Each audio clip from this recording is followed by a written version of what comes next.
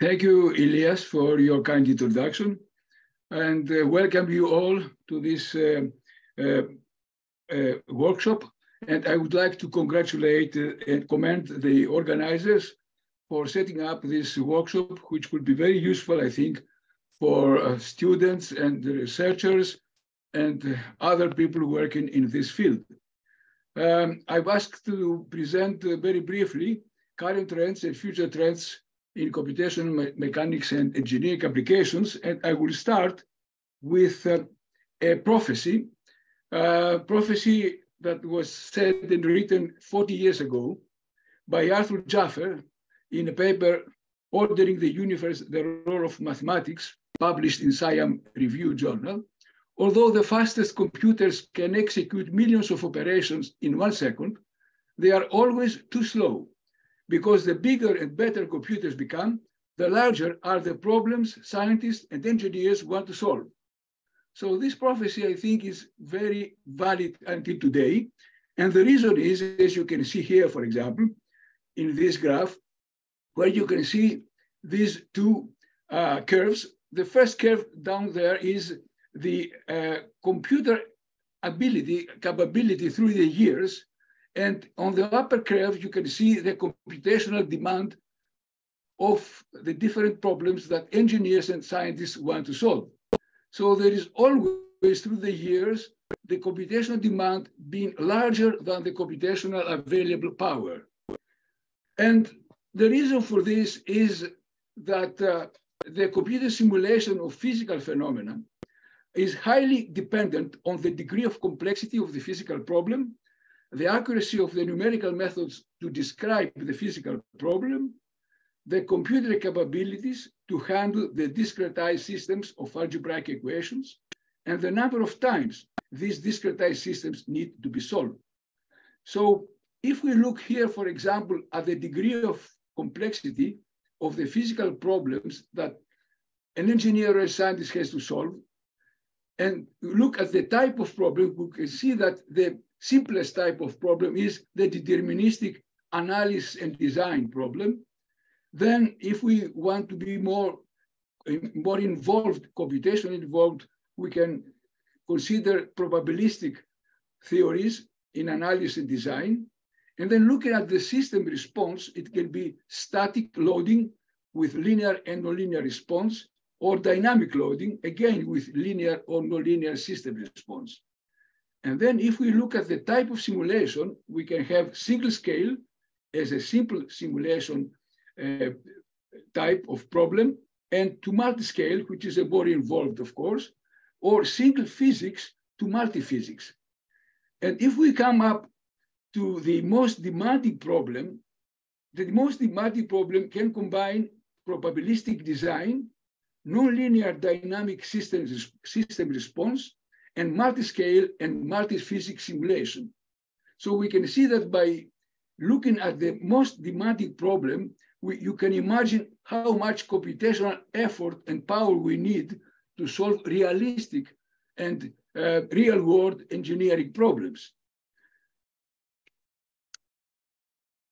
So let's have a look at the deterministic problems, going from the simple one, which is static analysis with linear response, and going through different, uh, more involved problems with nonlinear response, with dynamic and nonlinear response, with design optimization, with linear and nonlinear response, we can go to the 12th problem, which is the most demanding one, which is the dynamic, multi-objective design optimization with nonlinear system response.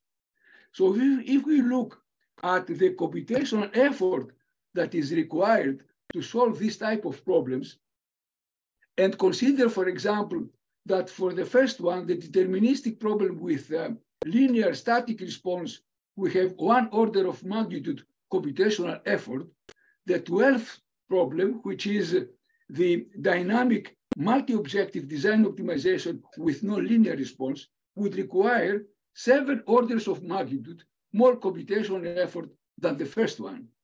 So this, of course, cannot be attained for real world problems until some drastic actions must be done in reducing the computational effort to, let's say, four to five orders of magnitude.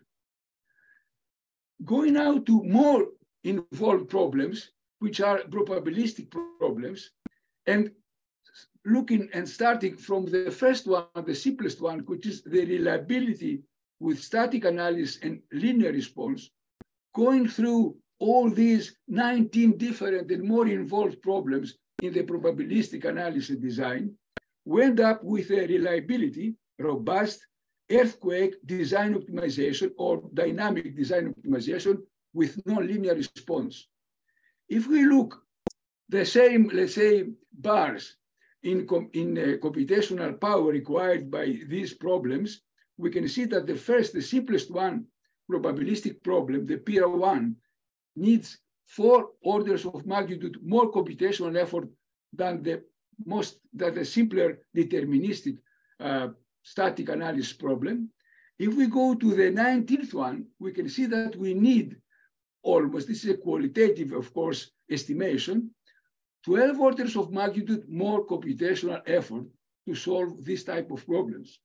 So we need to find ways to reduce this computational effort by, let's say, four, six, or seven orders of magnitude in order to be able to solve realistic real-world problems.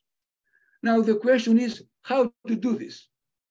Well, reducing the computational cost can be done in a number of ways by using accurate enough and cost-efficient reduced order models for the numerical simulation of the physical problem. We can use discretized models by a direct link to CAD geometry to reduce the effort of generating the mesh, the complicated mesh of the system. To use efficient computational integration and formulation of the system matrices, fast solution algorithms for the resulting algebraic equations, robust and reliable optimization algorithms for achieving the best possible design in, op in optimized design problems, handling the uncertainties with an affordable computing time, and implementation of artificial intelligence and machine learning methodologies for predicting the system's response. So you have to combine all these things, all these different approaches in order to be able to reduce the computation effort by orders of magnitude in order to be able to solve realistic problems in science and engineering.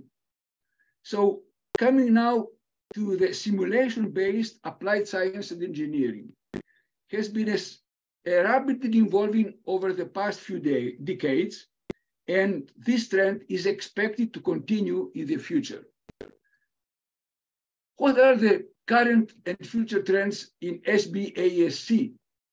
First of all is the multi-scale and multi-physics simulations.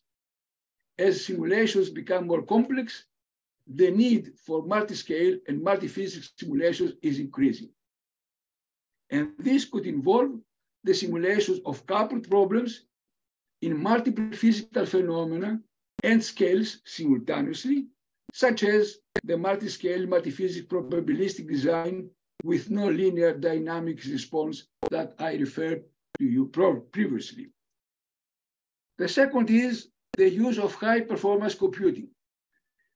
The high performance computing are becoming more accessible and affordable, allowing simulations to be run faster and with higher accuracy.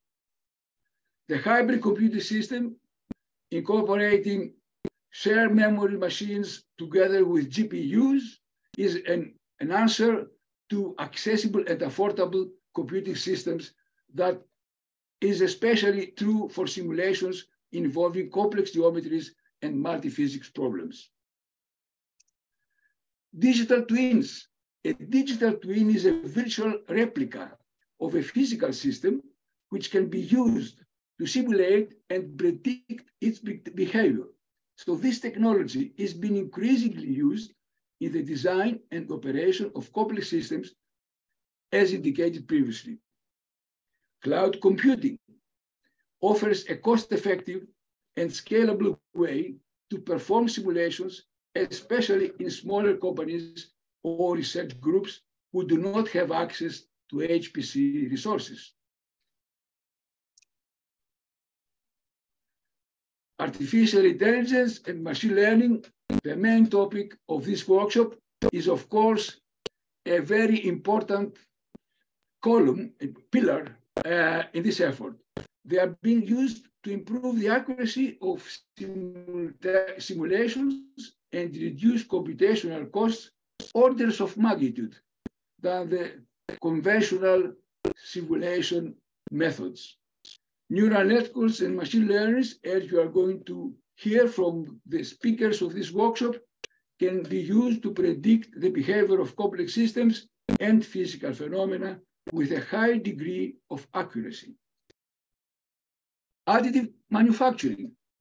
Additive manufacturing, also known as 3D printing, is changing the way components are designed and manufactured.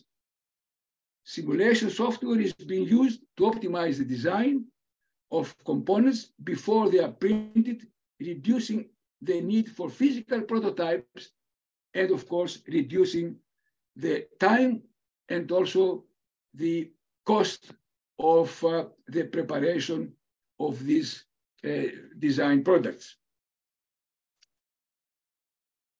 Now, I would like to close with another prophecy, which has said 60 years ago by the founding father of the finite element method, John H. Argyris. He presented a lecture at the Royal Aeronautical Society of London. And the title of his lecture was The Computer Shapes the Theory. Now, this very prophetical, prophetical lecture was not well received by the uh, professors in mechanics at that time because they thought that Professor Argyris was uh, insane to say these things. But after 60 years, uh, we can say that this is a very valid statement which lasts for many years and will last for many years more. So I would like to thank you for um, being with me in this presentation. And I would like to ask Elias to uh, address uh, any comment or questions to me or by the audience if this is possible. Thank you very much.